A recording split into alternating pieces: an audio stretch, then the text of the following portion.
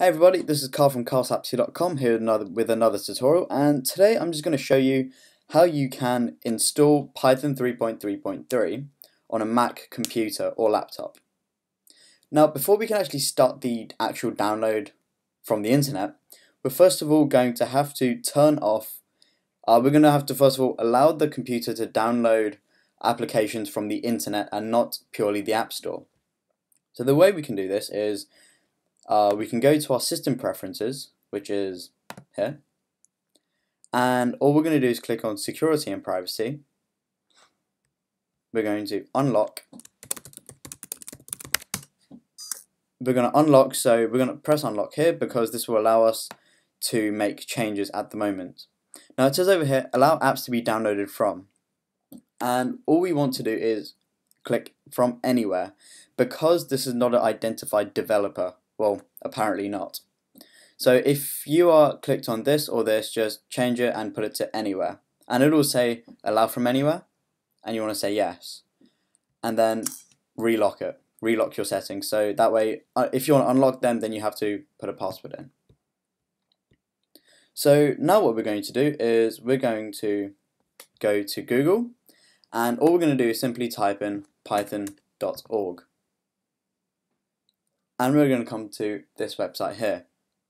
Now we're going to click on the left hand panel and click download and since we're running a Macintosh or a Mac OS X uh, device such as a MacBook Pro or a uh, MacBook Air or whatever then just make sure you know which what kind of computer system you're running if it's 32-bit or 64-bit.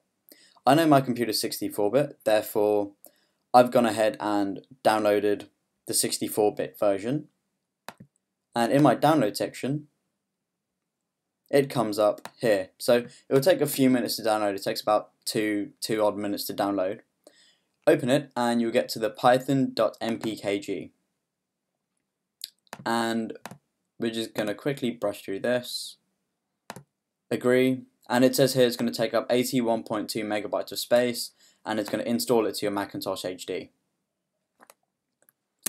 Again, since you're installing an application from an external source and that's not from the iTunes store even, uh, it's going to keep asking you for, to put in a password every time you want to install an application like this. So don't be worried every time this happens. So over here it says the installation was successful and the software was installed.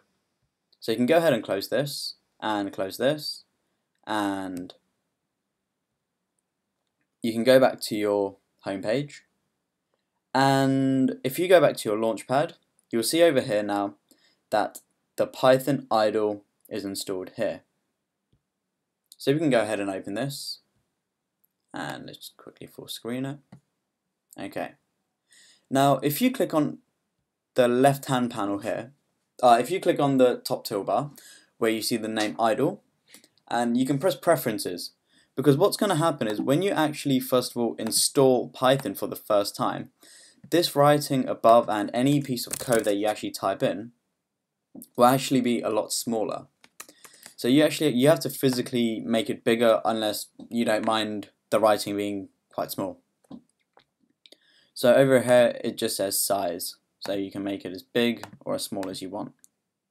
Personally I like to leave it at 16 because it seems like an adequate size to use and as well because I'm making all the tutorials on here it'll make it easy for you guys to read.